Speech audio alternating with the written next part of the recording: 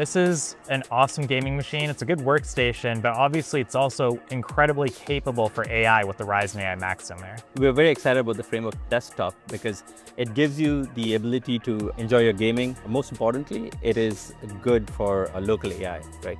And not just local AI, but as a gateway into the uh, whole ROCm ecosystem that exists with our you know, Instinct family of GPUs and our discrete GPUs. This gives you a shrink-wrapped local experience that you can actually get started with AI at home and then either go down to embedded machines or into cloud deployed.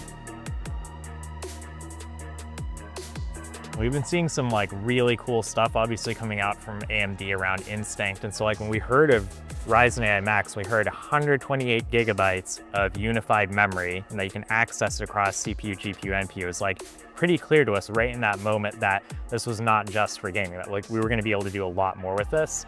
As we like look out there in the open source AI communities, we see that people are hungry for memory and they're hungry for memory bandwidth. And so it's just so cool that we're able to actually enable that and foster that whole ecosystem and maybe even help grow that ecosystem using the framework desktop. That's right. And if you if you look at AMD's product portfolio in the GPU space, we do have a very good memory capacity and memory bandwidth advantage across across our entire portfolio. And so on like the MI300, we have 192 gigs of HBM, and now the 325 goes to 256, and every year we're increasing that. But bringing that memory capacity and bandwidth advantage to something that sits on your desktop is just amazing, right? And so now you have 128 gigs of a unified memory that you could leverage for running large language models, vision models, anything that you want to do and iterate locally before you deploy at scale. It's kind of like this interesting sweet spot where obviously it's, it's 256 gigabytes per second of memory bandwidth on a 256 bit bus. So it's like not what you would get in like Instinct or something like that. It's not even what you'd get in like a normal discrete, uh, let's say Radeon GPU and a desktop card, but that you can get 128 gigabytes of memory means that you get these like really interesting combinations of models. Like you can run 70 billion parameter models. Like if you're taking Radeons and stacking them up, that'd be a lot of, a lot of Radeons, obviously, um, you know, much bigger than the physical size of this thing. Yeah, uh, uh definitely. And, and I will tell you that my daily driver desktop is now a framework desktop. Great, yeah. Um, and, and in fact, even the framework laptop, right? I, I use both of them for my entire builds and the CPUs, GPUs, everything comes together. And then when I have to actually deploy models and test models, I have enough of a memory advantage to be able to like utilize the capabilities of the framework desktop.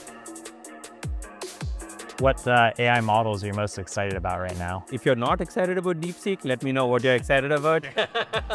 As of now, DeepSeek and variants of DeepSeek, the model itself is just one. The ways that had been brought to life allows for the ability to like unlock systems like the framework desktop, right? Where you're starting to move away from a fully connected mesh of networks, right? And I think in some of mm-hmm. your demos, you've shown, you know, stacking five or six of yeah. these to be able to do inferencing. But that's just the start. We're partnering with the Frontier Labs uh, to make sure that they work day zero on any ROCm supported device, including Framework Desktop, so that it just works as soon as it launches. That's great. Yeah, it's awesome to see all the support that AMD has for the open source AI ecosystem. Yeah, we're very excited about it, and we're very committed to, you know, not just the hardware accessibility. You'll see similar programs being rolled out over the next few weeks, months, where we want to be able to reach and talk to the developer and get to where the developer is. And I think this is just a starting uh, point for us to get. That's awesome.